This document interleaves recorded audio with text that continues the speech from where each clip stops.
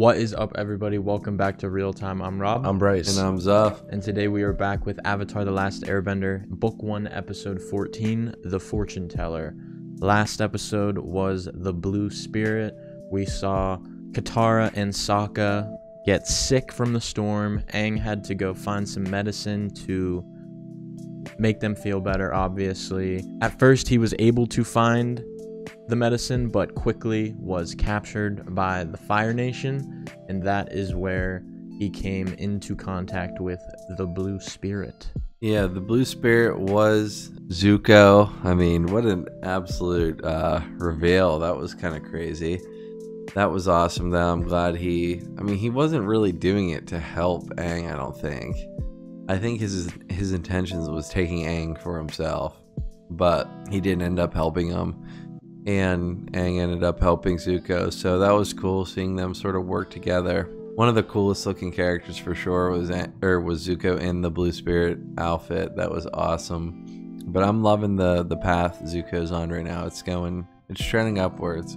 I did want to ask one thing. Did you guys, uh, did either of you think that he was Zuko like, No. in the episode? I didn't even consider that. I was worried that one of you, like, in the last episode, you were like, "Can he firebend? Can the Blue Spirit firebend?" And I was like, "Oh, Well, they're yeah, gonna, yeah. they're gonna get it now." no, But I didn't even put two and two together at all, honestly. Yeah, I mean, this one's called the Fortune Teller. Obviously, they're gonna talk to a fortune teller, maybe just Aang, but maybe the group. Um, I think that's interesting because I feel like with this world, fortune tellers probably can. There's probably pretty accurate. So I wonder what they're gonna tell the group or Aang about what's gonna happen because obviously he has a big future in front of him. So like if they can see something that's gonna happen, uh, that'll be interesting to hear. I mean, he has a long journey ahead of him, but maybe they'll give us hope. Maybe they'll worry us a little bit because it is very dangerous. I don't know, but I think the fortune teller is gonna be pretty cool. All right, guys, that is pretty much it before we do get into the episode. If you have been liking all the Avatar The Last Airbender reactions, please leave a like, drop a comment, and subscribe. Check out all the links in our description as well. We got our Patreon, Discord, all of our social medias, and our second channel. And yeah, with all that being said, we're going to get right into this episode Avatar The Last Airbender, episode 14 The Fortune Teller. Let's do it. Hey, everybody's looking healthy again. The elephant koi. Mhm. Look at that catfish, actually. Hey, I thought that thing was way bigger, honestly. Oh, I didn't think you would need it, Sokka.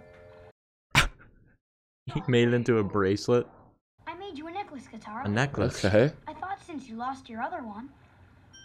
And Zuko stole it. I don't remember her losing her necklace. It was like that one. I remember what it looks like. I don't remember what it happened. When It, it was happened. on when they like got on Zuko's ship and Aang was fighting oh, him. Oh, with the water scroll. No, before that. So, how do I look? Uh oh. Oh. Aang POV. You mean all of you, or That's a great question. Someone's in love. I? Well, stop teasing him, Sokka. Aang's just a good friend. Oh, no. Look at him, he's pissed. No. Thanks. He's got friends and Big time. Someone's being attacked by a platypus bear. Platypus bears look scary, bro. I bet. I bet they're. Oh, never mind. That play This is. thing is swinging on him. that thing doesn't look too, or that guy doesn't look too phased. See the fortune teller? You think?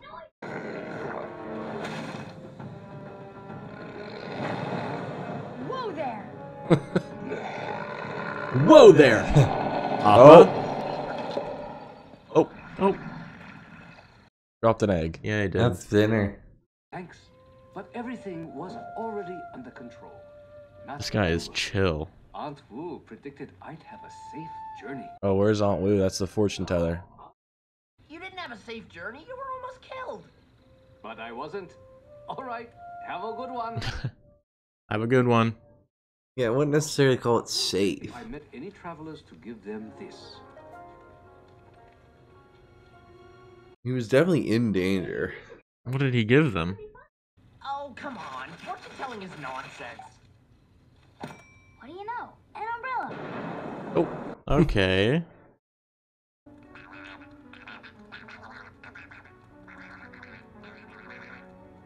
Whoa. Looks like Gojo.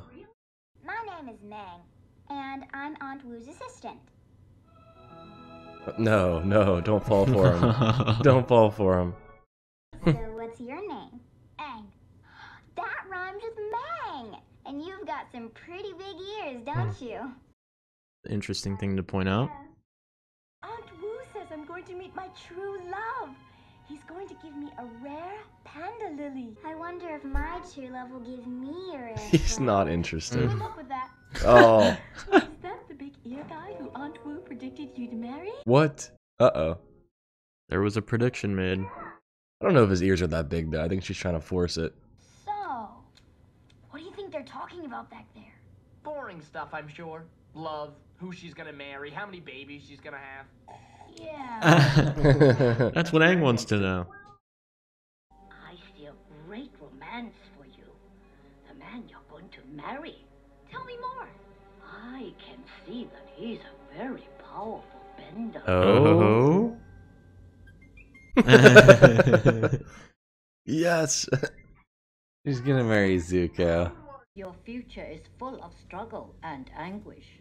Most of it. What? Is she doing it right now? But you didn't read my palms. I don't need to. You're just that readable. wow, that's a big crack. Oh, I've never seen this before. Uh that oh. bone is cracking. Whoa. Oh my! Is that a good future?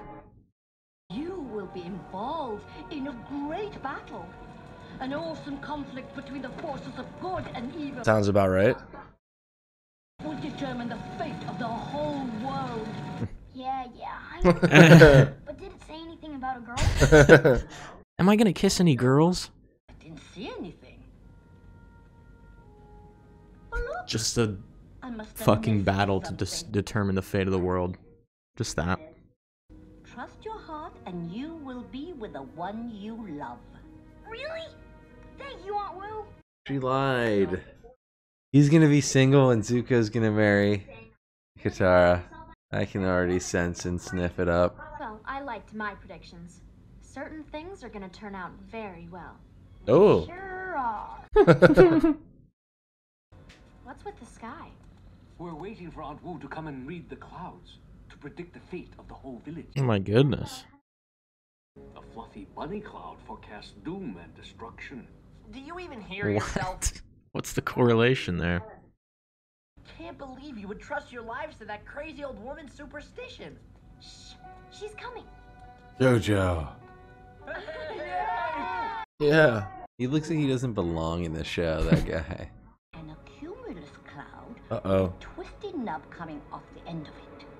The village will not be destroyed by the volcano this year. Yeah, we got Yeah. another year, guys. No volcano. I think it's gonna erupt soon. Something I want to tell you. I like you, but more than normal. Oh. Jeez.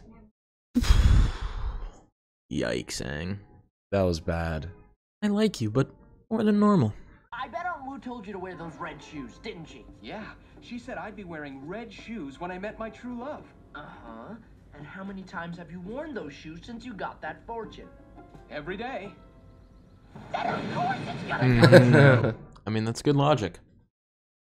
I don't care what Aunt told you. You have to take a bath sometime. Sokka completely doesn't believe in it, and Katara is all in on it. You know some stuff about ladies, right?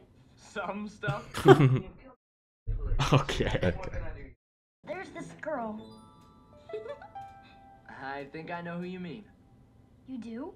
And you're okay with it? Of course I am. And to tell you the truth, I've been picking up a subtle vibe that she likes you too. No. You want to keep her interested, you have to act aloof. Like you don't really care one way or the other. Well, okay. Hey, Aang.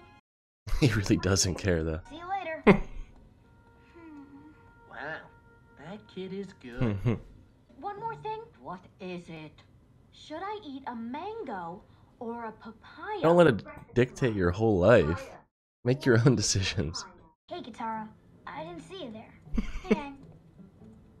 That's okay. I'm busy with my own stuff. Aw. She's really turning him down this episode. So dialed in on her future or whatever. One of those things? I can't believe you're dragging me all the way up here for a stupid flower. Not just any flower. I'm telling you, the volcano is gonna go off, and everyone's gonna think she's a fraud. Well, Aunt Wu hasn't been wrong yet. Why should she be wrong about love? You're absolutely just making this process f- so much longer by bringing Sokka. Oh no, Mm-hmm. Aunt Wu was wrong.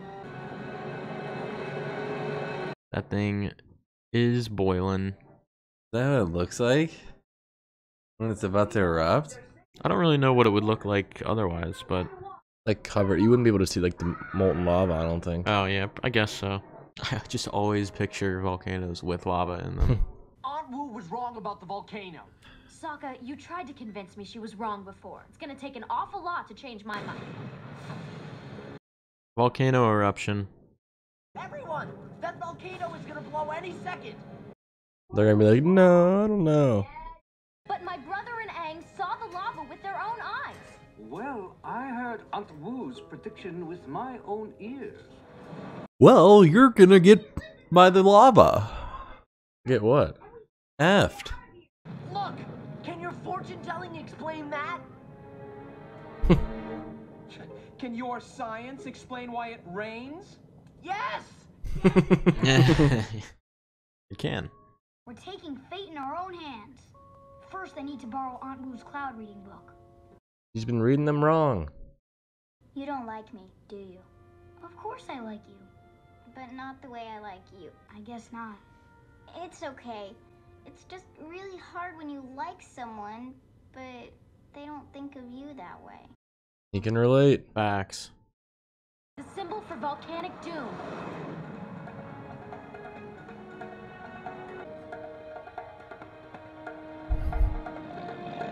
They're making the the, sh- the cloud into a shape so she can read it. Like, Yep. oh shit, it's volcanic doom. They just know that these villagers won't won't believe them. Only believe the fortune teller. Something's happening in the clouds. That's very strange. It shouldn't. Oh my! Voldemort? That's the Death Eater symbol. Whoa. I didn't even know what you were saying. it was just hissing. Like a snake. sounded like a snake in pain. he was being hurt.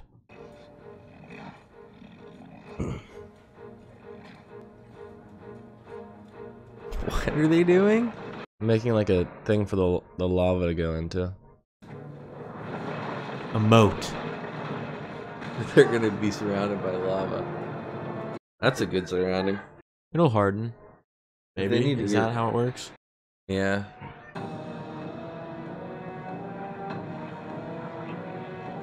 Mm-mm. No, no, no. It's too much. It's gonna overflow. I mean, yeah. A lot of lava there, huh? Volcano. Go ahead, Aang. Lava bend. It reminds me of Pompeii. Hey ho, hey ho, hey ho, hey ho. So you can learn firebending. I don't know what firebending would do right now though. Oh my god. Dude's the goat. Man, sometimes I forget what a powerful bender that kid is. Wait, what did you just say? Airbending Nothing, master. Just that Aang is one powerful bender. Oh, that was her fortune. I suppose he is. There we go. Uh oh. Take care, Meng. Take care. Floozy. Oh. Hating on Katara. Yeah, I mean the fortune teller, she was very cool. I think she was for the I think she was pretty accurate, I would say, in, in a lot of her readings, but yeah, it just shows that I th- I think the people did rely way too much on what she said. The first example being the guy fighting the bear. He's like, "Well, she told me I'd be okay, so I'll just casually dodge this this bear." I mean, it worked, so you can think what you want about that, but like Sokka was saying, I, I do agree. I, I agree with him a bit, like how if you wear red shoes, you'll meet your the love of your life. It's like if you wear them every day, you're going to Yeah. eventually meet her, but also you would meet her if you weren't wearing them too. So it's a little bit of like it would work like that stuff works for everyone. But you did say Katara is gonna marry a powerful bender. We know we know a few, but our main main guy Aang is definitely a, the, the most powerful bender. So could be him. I don't know. He really was crushing this episode, which was nice to see. But Katara was really involved in the fortune telling this episode. I mean, she was um, as much involved as that as Aang was trying to make a move on her. Holy hell, Aang. You were going nuts this episode. At the end, Katara started realizing, ah, maybe it is. Maybe it is Aang. But I still think it's going to be Zuko. Aang is going to end up single. Damn. Yeah. It's, he's got to save the world, man. He has no time for love. Maybe after. I mean, I guess he can grow old and find an old elderly woman. But right now, it's definitely Zuko and Katara. It's one of those things that I've got locked in my mind. So until I see otherwise, Won't be able to change it. Yeah. So yeah, I mean, obviously, all that stuff went down with Aang and Katara this episode. They were feeling very lovey-dovey, and Sokka was just kind of on the back seat a bit. I feel like sometimes he he gets real skeptical of the things that they're doing, and this is prime example of him just being an absolute goofball, but it actually paying off in the end. Like if if he wasn't so skeptical and like hesitant to believe in Aunt Wu, then they probably would have never found out about the volcano. But I, I thought it was pretty funny whenever Sokka was trying to to wingman for, for Aang. I mean, they were just completely talking about two different girls, but I, I appreciated the effort from Sokka. I feel like he was trying to help out Aang the best he could. Don't know how he'd feel if he knew that Aang was talking about his sister, though. That that's for another day. But yeah, still a good episode, and uh, excited to keep the journey going. All right, guys. Well, that is pretty much it for this episode. If you have been liking all the Avatar reactions, please leave a like, drop a comment, and subscribe. Check out all the links in our description as well. We got our Patreon, Discord, all of our social medias, our second channel, and our PO box. Make sure to check all those out. And with all that being said, we will see you guys next time in Book One, Episode 15 of Avatar. Peace out.